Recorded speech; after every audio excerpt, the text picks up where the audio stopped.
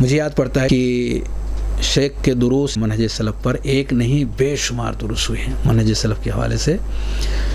एक सिलसिला आपका चला है मुझे बड़ा अच्छा लगा वो सिलसिला। लई समी मनहज सलफ़। ये मनहज सलफ़ नहीं है। ये मनहज सलफ़ नहीं है। तकरीबन तीस से ज़ायद दुरुस तीस से ज़ायद दुरुस लई समी मनहज सलफ़। कि ये मनहज सलफ़ नहीं है तीस से ज़ायद दुरुस आपने पेश फरमाया है। देखें, वो सब अहले इल्म के बीच में अगर किसी को ज़ुबान खोलनी ही है कि ये बंदा राह रात से हटा हुआ है तो अक़ीदे के एतबार से, मनहज के एतबार से अहले इल्म का जो तरीक़ा रहा है, हर दौर के अंदर दीन की नशर इशात का, मसाइल की तोज़ी का, अगर शेख अबू जैद ज़मीर हफिज़ल्ला का अंदाज़ तरीक़ा बयान उससे हट कर के है तो उसे बयान किया जाए।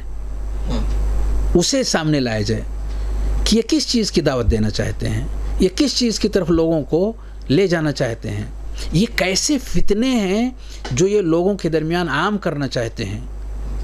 दरअसल इनका बैकग्राउंड कमज़ोर है इस बुनियाद पर इस तरह की गैर मौसूक बातें काबिल गैर काबिल अतमाद बातें इनकी तरफ़ से आ रही हैं। ये चीज़ें पेश की जाएँ।